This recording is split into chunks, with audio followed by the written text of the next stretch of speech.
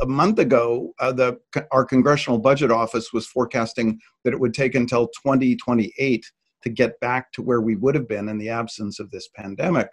Um, given the resurgence of the virus and then the natural pulling back that individuals will do anyway, but that policymakers are also enforcing, um, it, it's quite likely that we're going to be even further behind schedule on this. So we're looking at a really prolonged, slow economic recovery from a very sharp shock.